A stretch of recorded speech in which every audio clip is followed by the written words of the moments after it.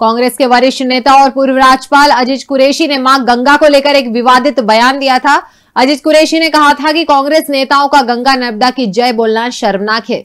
ये डूब मरने वाली बात है। अब उनके इस बयान के खिलाफ देश भर में प्रदर्शन किया जा रहा है। भाजपा पूर्व राज्यपाल अजीत कुरेशी के बयान को लेकर जगह जगह प्रदर्शन कर रही है। इस कड़ी में भाजपा नेता संजय चोपड़ा ने कहा कि संवैधानिक पद पर रहने वाले व्यक्ति यदि ऐसे बयान देते हैं तो ये बहुत ही शर्मनाक बात है।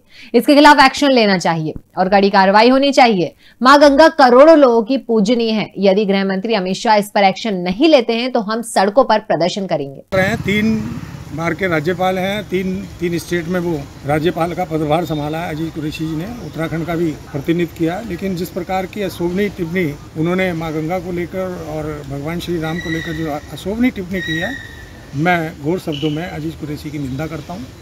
और मांग करता हूँ गृह मंत्री अमित शाह जी से कि तत्काल प्रभाव से ऐसे व्यक्तित्व के खिलाफ ऐसे व्यक्तित्व के खिलाफ जो है मैं समझता हूँ कि जो पॉक्सो का जो कानून है उसके तहत इसके खिलाफ मुकदमा दर्ज होना चाहिए। जो लोग किसी को भी कोई अधिकार नहीं है कि वो समाज में किसी प्रकार का भी कोई सामाजिक प्रदूषण घोलने का काम करें। तो हमेशा इस तरीके के वक्तव्य देकर जो है समाज को विपरीत दिशा दिखाने वाले लोगों के खिलाफ कार्रवाई होनी चाहिए। लेकिन माँ गंगा पर या भगवान श्री राम पर कोई टिप्पणी करेगा तो निश्चित रूप से उसके खिलाफ सड़कों पर उतरकर उसी की भाषा में जवाब दिया जाएगा।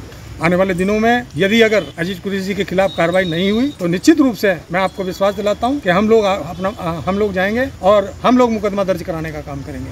निश्चित रूप से उसकी कितनी भी निंदा की जाए, जितनी भी निंदा की जाए, सामाजिक रूप से वो निंदनीय है, निश्चित रूप से। और आने वाले दिनों में मैं आपके साथ आपके मामले आपके सामने चेतावनी देता हूँ आपके माध्यम से।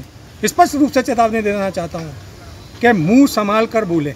हमारा एक लोकतांत्रिक देश है। ये नहीं कि आप जो मर्ज़ी बोल देंगे। तो निश्चित रूप से, देखिए, माँ गंगा करोड़ों हिंदुओं की आस्था का केंद्र हिंदुओं के साथ में अन्य संप्रदाय भी माँ गंगा को पूछते हैं। चाहे उसमें सिख हो, ईसाई हों, बहुत से धर्म ऐसे हैं जो गंगा जी को पूछते हैं।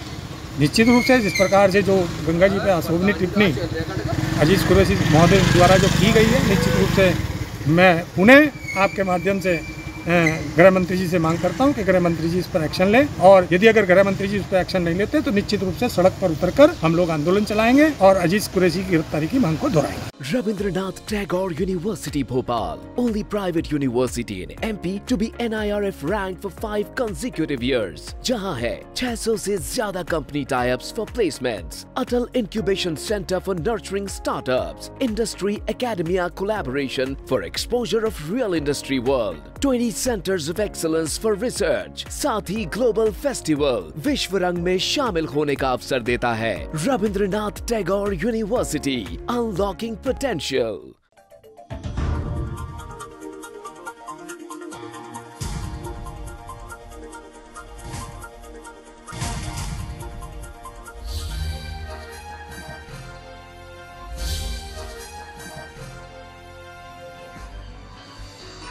आप देख रहे हैं दखल न्यूज़।